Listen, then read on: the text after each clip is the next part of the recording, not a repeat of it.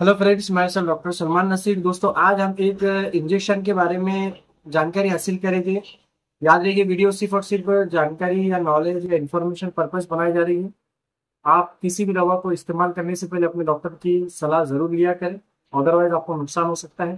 तो आज हम जिस इंजेक्शन के बारे में जानना चाह रहे हैं, वो है ऑनलाइन सेटॉल जी हाँ दोस्तों, जो कि नोशिया वॉमिटिंग के लिए बेहतरीन काम करता है। उसके साथ ही दोस्तों, जो पोस्ट ऑपरेटिव पेशेंट होते हैं या फिर रेडियोथेरेपी जिनकी चल रही होती है, ऐसे लोगों को नौशे की बहुत ज़्यादा प्रॉब्लम होती है। और बहुत सारे स्टमक जो अपसेट जैसी कंडीशन होती है, उसमें भी ऐसी प्रॉब्लम होती है, जिसमें ऑमडेन सेट्रॉन इंजेक्शन जो कि एम्पुल में मौजूद है। तो आज हम इस वीडियो में जानेंगे कि ये काम कैसे करता है। Ondansetron how to it's words कैसे काम करता है क्या क्या इसके इंडिकेशन है या बेनिफिट्स है इसके साथ में इसके साइड इफेक्ट्स क्या है? और इसको कैसा यानी इसका डोज कैसा होता है या रूट कैसा है?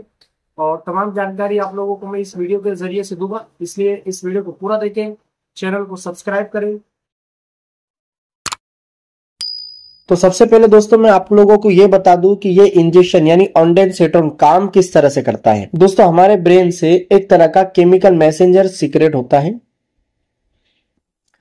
जिसको सेरोटोनिन कहते हैं, और इसी की वजह से क्या होता है नौशिया वॉमिटिंग होती है।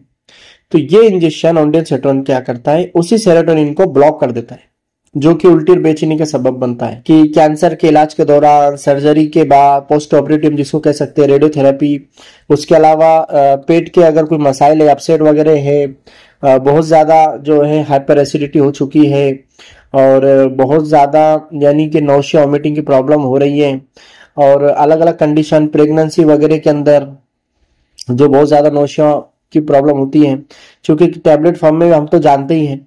तो ऐसे बहुत सारी कंडीशन है जिसमें नोशिया मीटिंग की कंडीशन होती है, नोशिया मीटिंग की प्रॉब्लम होती है, उसमें ये इस्तेमाल में लाया जाता है।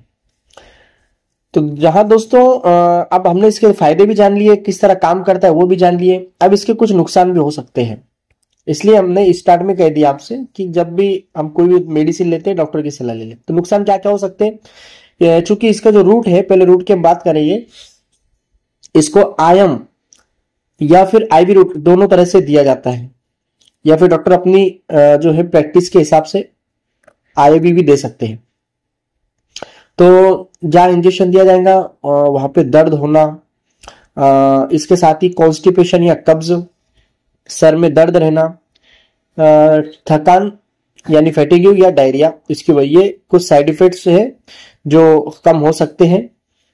और किसी तरह के साइड इफ़ेक्ट दिखने पे हम फ़ौरन डॉक्टर को कंसल्ट करें। अगर आपको ये मालूम पसंद आई है तो इस वीडियो को ज़रूर लाइक करें। और भी इस तरह के कंटेंट या मालूम जानने के लिए दोस्तों, हमारा चैनल मेडिकोस लाइफ लाइफ आप ज़रूर सब्सक्राइब कर ले। Thank you very much